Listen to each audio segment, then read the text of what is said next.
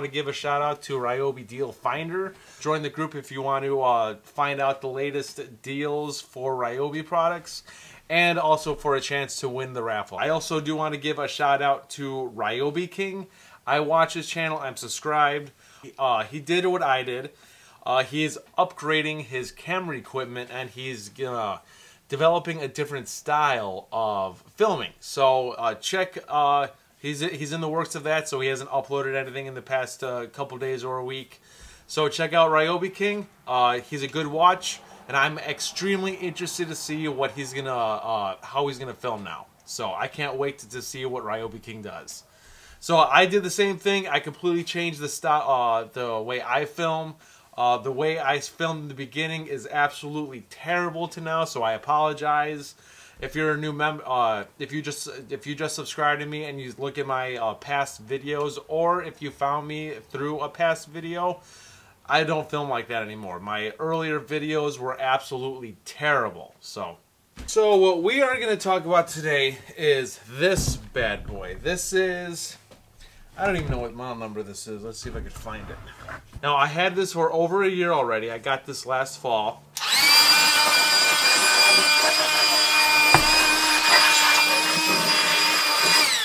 We are going to clean it really quick. I only used it twice. Uh, I only used it twice this summer, or three times. So it's been collecting dust because I really don't need a leaf blower during summer. I use this just to fan out the, the grass after I cut it. And so, yeah, this thing is extremely powerful and it's a really uh, easy uh, to use and it's light. So, uh, I use this for over a year and uh, never let me down yet. And the fuel I use for this, I get the, the TruFuel at Home Depot, the 50 to 1 ratio mix. I do not mix my own fuel because uh, I do not want to mess up and the engine, uh, the motor uh, fry out in time. So, and plus I don't really use that much gas anyways. So one, like I would use one of these a year. So $10 of gas a year is not that bad to afford to have a motor with a, uh, the exact mixture it needs to operate. And it's cleaner too because in case you don't uh, put too much oil in case you put too much oil in it it will mess up the engine and vice versa. So this is uh, a 25 uh, two cycle 25 cc engine. Uh, and uh, the max air volume is 520 and the max air speed is 160 miles an hour. And the noise rating is 74 so yeah th this thing's pretty loud. It, I, am not gonna lie this is pretty loud. And so uh, fuel tank capacity is 18 ounces.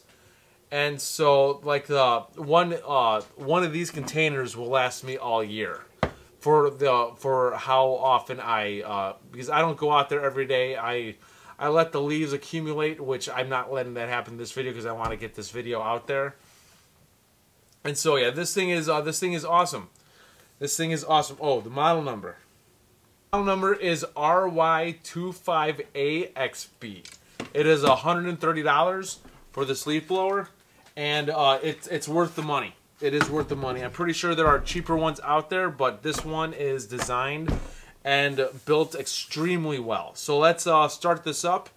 Uh, there is instructions on how to start it, which I already know, so it's very easy to do, and it's it's reliable. Uh, you're not there all the, like cranking this all day to get this started. This starts up pretty quickly, especially if you use the proper fuel. So let's get this started. All right, so you got to pump the fuel. Pump 10 times. Four, five, six, seven, eight, nine, ten. Put that to uh, put that to full full choke, you got to put this to full. If it's at idle, it won't start up.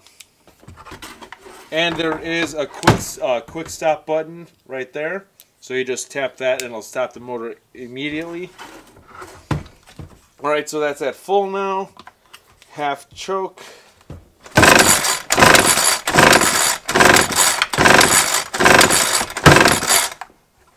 Oh no, is that full choke?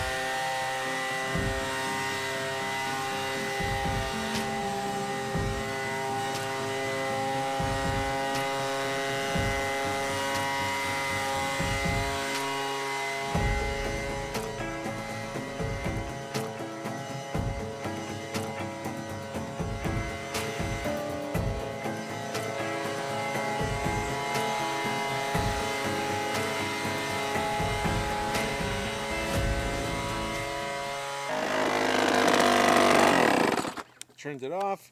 Now what you could also do is you could uh, have this set to full so you don't have to pull the trigger at all. So just to show you how easy it is to start now.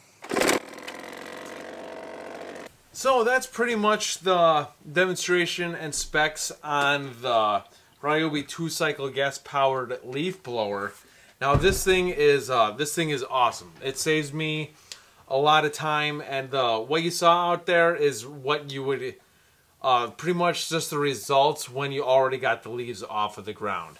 The more leaves you have in the ground, the more you'll move. So we're gonna, uh, you're, you're gonna be seeing this in uh, in videos in the future because I'm gonna film every time I have to go out there. And so yes, I do recommend you get the already pre-mixed fuel for this because it'll just keep your engine cleaner and it'll last you longer. Because as you can see, like right now, with no effort whatsoever,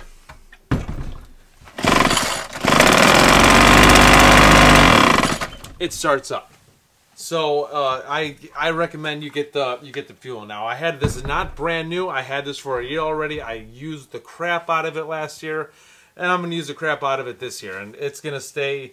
Just keep your uh, keep your stuff clean, and it'll last you a long time. And use premixed fuel for that. I guarantee you it will last longer. So that's pretty much it. I just wanted to uh, give a demonstration of this and show you guys the specs and my recommendations. This thing is, I do recommend this one. When it comes to any battery operated leaf blower, I do not recommend you use that out, uh, outside on the grass. Always use uh, a gas one just because the amount of the how long you're going to be out there, you're going to want gas because the power that it takes because sometimes the leaves are wet, the leaves cling on to grass and then they just won't want to go. And so yeah, I recommend for a leaf blower gas. And you guys know me, I'm all about the One Plus system.